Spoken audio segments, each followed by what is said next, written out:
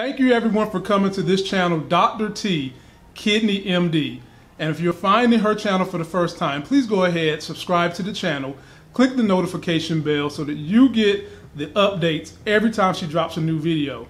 The purpose of this particular video is to introduce you to her channel, understand the mission of her channel, what she's going to be covering, and a little bit about her. Dr. T, thank you for allowing me to interview you so people can know about your channel. Tell us a little bit about what you do at Duke and why they call you Dr. T, Kidney MD. So I am a nephrologist, which is also known as a kidney doctor. I'm also a high blood pressure specialist. And my job at Duke is to take care of patients who have kidney disorders and also who have high blood pressure. So, what made you decide to do something in the social media realm, considering you see patients in the clinic all the time? What made you decide you need to give them more outside of seeing you in the clinic? I'm creating this channel because I want to create videos for my patients to refer back to in order to be empowered on how to take better charge of their health.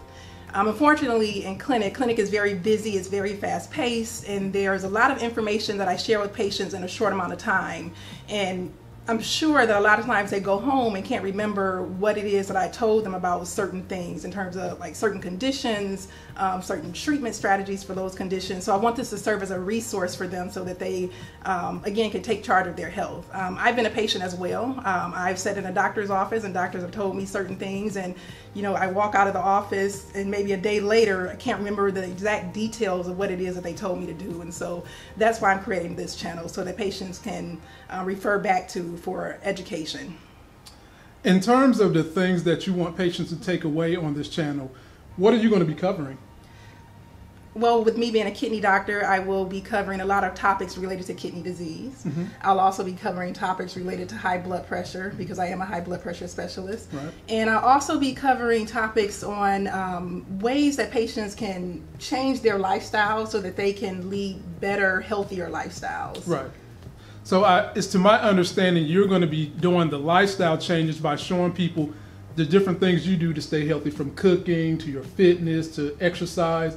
Tell us a little bit about that. Exactly. So not only will I be giving advice, but I'll also be showing you how I walk the walk as well. Um, when I talk to patients and tell them, you know, how to do things in order to be healthier, I want to do so from my own experience. And so I want to talk about, you know, what I'm eating on a day-to-day basis to lead a healthy lifestyle, how I implement physical activity into my daily activities um, just because you know I live a busy lifestyle as well. I know it's hard for for patients to to adapt certain um, certain recommendations into their their active lifestyle so that's what I want to do.